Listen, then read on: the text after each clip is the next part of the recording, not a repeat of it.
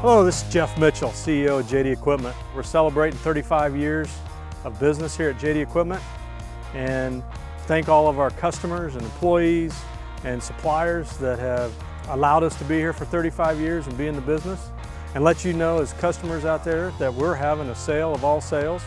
With the harvest season coming upon us, this is your chance to come in and har harvest a Deere at or below invoice. We've got a lot of our units now that are on sale. This is once in a 35 year opportunity.